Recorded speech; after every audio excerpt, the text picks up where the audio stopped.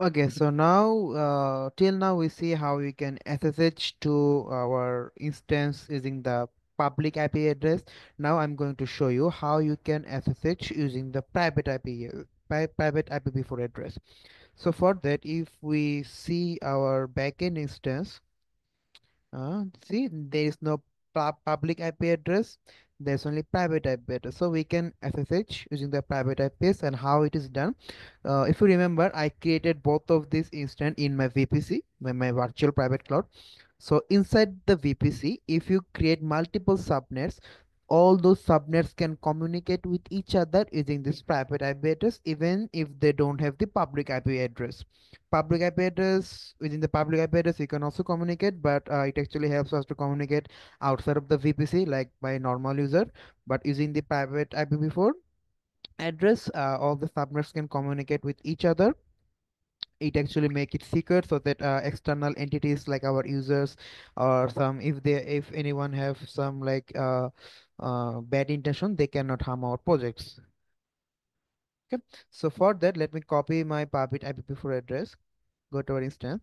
So if you remember so I created both my front end and back end with the same key. So let me duplicate this tab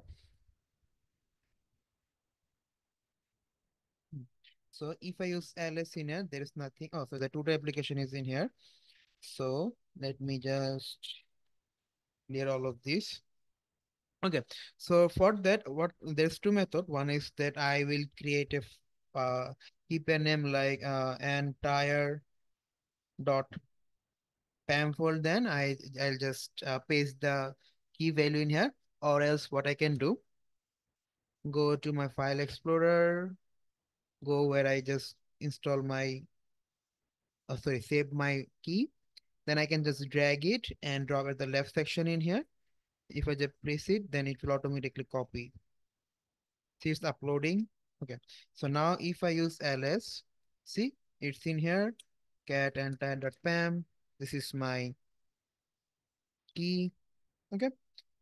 So now what I can do, I have to give permissions for security purpose. If I show you ls hyphen la, my entire PAM has some read and write other stuff, but for security purpose, I only give the permission for the owner of this file, only the read permission, not other permissions. So for that, what I can do, uh, chmod 400 means uh, the owner is only having the permission for read it, then the key. Now if it's lsla, see, it's in this way. Okay, so now what I have to do to SSH, I have to like SSH, then dash I, uh, case sensitive, then entire PAM, then I have to specify the username, which is the Ubuntu at the rate, then my private IP. Oh, sorry, not this one. Just okay. So let's go in here, copy our private IPv4, then insert it. Now if I hit enter, I should be able to SSH. See, it's a new server.